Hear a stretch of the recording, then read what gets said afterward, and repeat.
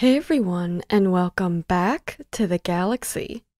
Today, we will be learning how to make eyes pop in GIMP. In my project, I'm starting with my image layer. We will be using the Dodge tool to create this effect. After selecting the Dodge Burn tool, I will make sure the mode is set to Dodge. Then I will select the midtones range which is where much of the pixel information in her eye falls under. Using my mouse, I will brush around her irises. Note that this effect repeats as you release your mouse and click again. So to create an even appearance, be sure to paint over the entire area before lifting your mouse.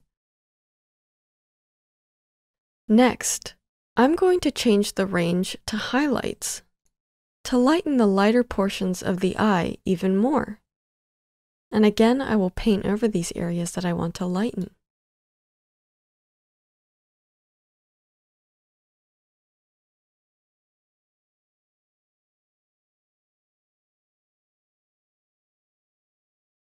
And that's it. You now know how to make eyes pop in GIMP. I hope you enjoyed this tutorial. If you did, consider subscribing for more awesome content. Let us know if you found this tutorial helpful by liking this video and leaving us a comment. Thanks for watching.